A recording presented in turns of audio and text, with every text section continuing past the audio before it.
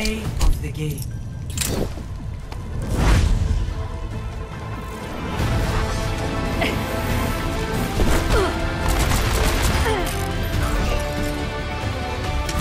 It's hand.